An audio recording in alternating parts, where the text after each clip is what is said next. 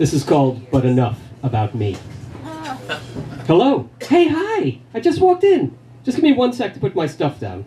Okay, I'm back. I've been thinking about you. How the heck are you? I'm so glad you called. Been meaning to call you, but it's just been madness around here. In fact, I do want to catch up, but I've got to warn you, I'm toast. Totally burnt beyond exhaustion. There's nothing left in the tank. The past two days have been intense, pure craziness. So let's talk for a couple of minutes. Let's make a plan to get together, and then I'm going to drop because I'm totally burnt out. The past 48 hours have really done me in. What? You really want to hear? It's not very interesting, but I'll tell you if you really want to know. Okay, so two nights ago, I'm in my favorite casino in Monte Carlo. Actually, casino isn't exactly the right word. It's more a private gambling club. Not open to the public, you have to be a member. And the annual dues are steep. But it's where I like to play. It's civilized, quiet, sedate. No racket of slot machines, no busloads of day tripping retirees. When I play, that's how I like to do it.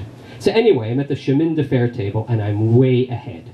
In fact, I've got enough to buy that townhouse in the West Village that I've had my eye on. Yes, Grove Street, that one. So anyway, long story short, my cell phone goes off and I've got to go, so I bank my winnings. Next thing I know, I'm in the fight of my life in a hot air balloon against this enormous bruiser with a shaved head and nothing between his ears except more muscle. Every time I land a blow, he just grins, and I feel like I've just punched a brick wall. He's taking everything I've got and he just keeps smiling at me. At one point, he catches my fist in one of his gigantic paws and starts to squeeze. I actually feel the bones in my hand start to fracture, and it's only a sharp kick to his family jewels that make him let go. to make matters worse, there's a bomb set to go off in the balloon, and I can see the timer rapidly moving to zero. Now, this lunkhead is so dumb, he doesn't care whether he lives or dies, just so long as I get killed. Me, I'm just the opposite. I'm totally indifferent to his continued existence, but care very much about my own survival. Finally, I managed to deck him with a swift uppercut, and the back of his head slams against a post. He goes down like a sack of potatoes. No insult to the intelligence of your average sack of potatoes intended. I jump out of the balloon literally nanoseconds before the bomb goes off. I mean, I actually feel the force of the blast and the heat. That's when I pulled the ripcord that converts the cummerbund of my tuxedo into a parachute, and I'm picked up by a Royal Navy submarine in the North Sea. From there, it's a sweet cruise to one of Her Majesty's aircraft carriers, and from there, it's a Harrier jump jet to Kennedy, and from there, it's one of our own good old U.S. Navy helicopters to my roof in the East Village, which it turns out cannot accommodate a Black Hawk, so I've got to do the rope ladder thing, which I hate. It always leaves me feeling unsteady. So I let myself into my apartment. All I'm thinking about is opening a bottle of wine, making some dinner, vegging out in front of the TV, and then getting in some serious sack time. And then my phone rings. I shouldn't have picked up, but at this point I'm kind of on autopilot. It's James Levine, musical director of the Metropolitan Opera. He's in a panic. It's his gala night. He's got a house full of his biggest donors, people who every year contribute minimum a hundred grand, most of them a hell of a lot more.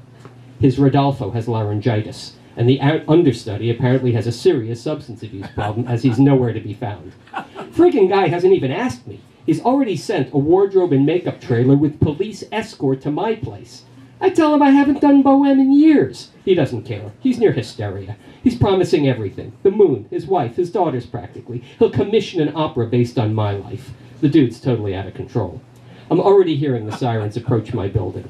What am I going to do? You've known me long enough to know I'm not going to let the Met down. In the trailer, while the makeup gal's doing her thing, I'm running scales, I'm looking over the libretto, I'm trying to do in 15 minutes what you should do in five weeks of rehearsal. So, I went on. What can I tell you? Do I think I was in my best voice? Hardly.